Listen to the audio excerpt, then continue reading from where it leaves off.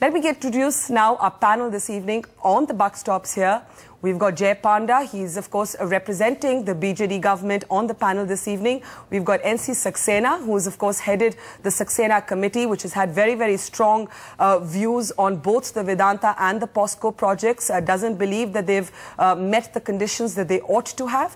Uh, we've got senior lawyer Krishnan Venugopal with us right here on the sets of the buck stop here to take a look at this, uh, this concept of whether uh, a human barricade can, in fact, be declared illegal. Also weighing in on the legal aspect of that debate, senior advocate Dushyant Dave, and one of the best known environmental activists of this country, Sunita Narain. And of course, we're taking a look at the POSCO project as an example of how every land acquisition uh, project really in India in recent times has run uh, into an obstacle, hit a stone wall. Even the Tatas today have had a setback uh, with the Singur project and the farmers now lining up to get their land back for that project that never took off. Let me start with Jay Panda if I can.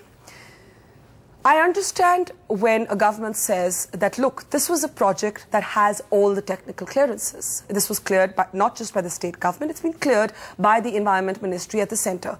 But when an administration decides that a protest is illegal, these have been peaceful protests. These have been women, and yes, the children who come along because, you know, children go along with their mothers.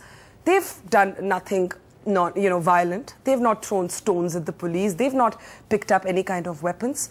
Isn't this undemocratic for your government to come in and declare this protest to be illegal?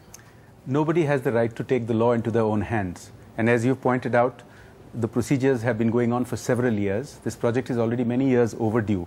I want to make a point here that the Orissa government has gone to extraordinary lengths to ensure that there is no violence.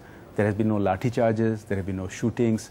A great deal of patience has been shown to accommodate every viewpoint. And have the protesters respected that space? Because from all accounts, they've been peaceful as well. The majority of the local residents have accepted the enhanced uh, rehabilitation packages and, and the, the formalities and the legalities have been complied with. Let me point something out to you. Out of the 4,000 acres for this project, 3,500 acres is government land.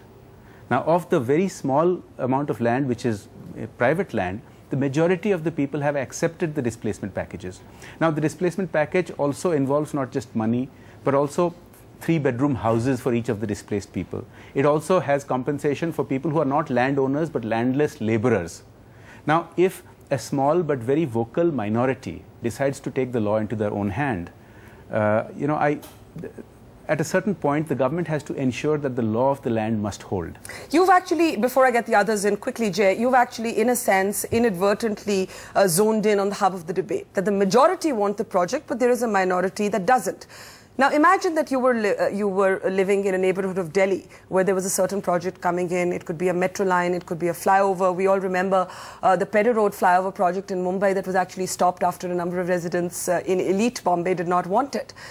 Does this happen with the rich? Does this happen with the middle class, where we have the space to say, no, we don't want this? Or does this only happen with the poor of India? It ought to happen everywhere. And let me explain what I mean by this.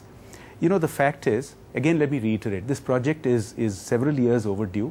Everybody, different governments at the center, the state government, they have all supported it there is, you know, this is not the only area in the country that has a land acquisition problem. All over the country there are problems. But do the minorities have rights? Yes. If even one person does not want forcible acquisition of his land, so let me can the state just brush aside his reservations? I'm just coming to that point. I think even the most vocal opponents of land acquisition today are coming around to a viewpoint that if 70% of the displaced people agree to a plan, then the balance 30% have to also comply with it.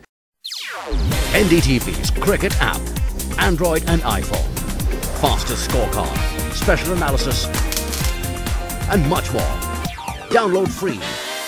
ndtv.com slash apps.